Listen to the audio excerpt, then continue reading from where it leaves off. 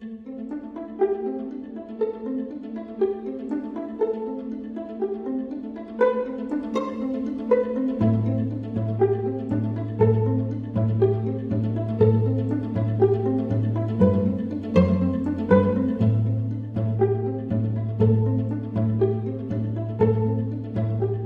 que hemos estado haciendo es el seguimiento del cultivo de la viña.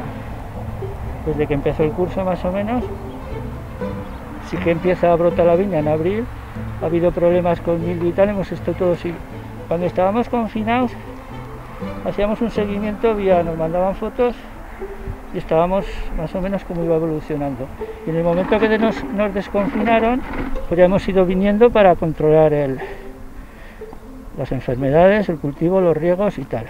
Lo que estamos intentando pues es que eh, pues, eh, toda una eh, serie de personas desempleadas de la, de, la, comarca pues se formen en diferentes sectores de la industria agroalimentaria, entre otras cosas como una búsqueda incluso de que, aparte de como formación profesional para que puedan potencialmente ser contratadas, incluso para desarrollar su capacidad de autoempleo. Hemos llegado a septiembre, la teoría está bastante prácticamente acabada, eso tanto de vinos y licores como de notecnia, nos faltan las prácticas. Sí que lo hemos dejado para ahora, porque toca la vendimia. Como he dicho antes, hemos ayudado a vendimiar hace dos semanas.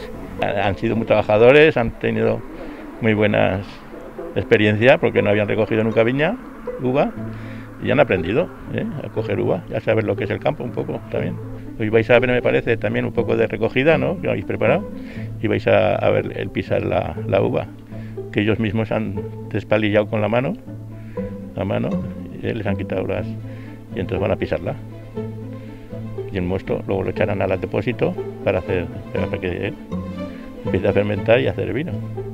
Cuando le ayudamos a, a vendimiar, trabajamos con la maquinaria, con la despalilladora y todo mecanizado, pero ahora por no hemos dicho de hacerlo plan tradicional, o sea, despalillamos a mano y pisamos pisamos normal. Lo que hemos hecho es firmar un convenio de colaboración entre las bodegas y el ayuntamiento precisamente para que se pueda colaborar y es una forma de que vayan eh, los eh, alumnos vayan ganando experiencia en actividades propias del sector.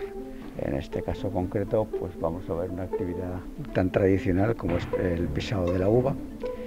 Pero bueno, en cualquier caso de lo que se trata es de que en una bodega, que en este caso una bodega pequeña, lo cual no es un modelo tan industrial, sino que es un modelo más bien francés de pequeña bodega con producto diferenciado, pues es quizá un modelo más eh, factible si tú quieres desarrollar un autoempleo. ¿no?